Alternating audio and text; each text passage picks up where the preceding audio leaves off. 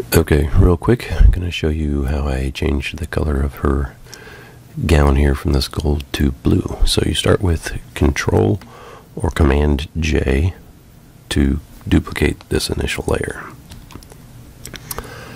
And then once you have that, you want to create a layer mask, and that's this little icon down here at the bottom of your layers with the circle in the rectangle. Okay, and then you want an adjustment layer, which if you have your adjustments tab open, it's right in with all these. You can find those in window adjustments if it's not av available to you.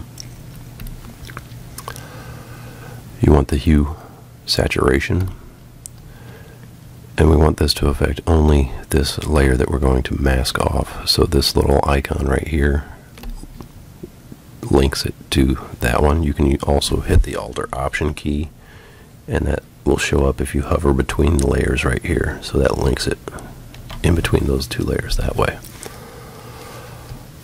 And then it's just a simple matter of sliding this over until you get the blue color you want for the gown. I pulled the saturation down just a little bit. Somewhere in there, I think. And then going back and masking all that off with a black paintbrush. Use a fairly hard edged one because we want to be pretty precise with these edges. Or you could hit Control Command I and just switch that mask to black and paint with white to reveal a hard edge brush to reveal that. So you basically just go through and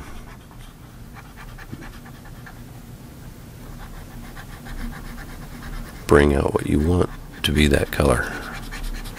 Okay, so that's really all there was to it. Um, I'm not going to show the whole thing of going through, but it's just a matter of, you know, in the detail areas, like here, just using a smaller brush and pulling through to get that color in where you want. And if you don't have a drawing tablet, one would very much help, like a Wacom or Huion pen tablet for editing. That helps tremendously doing this kind of work.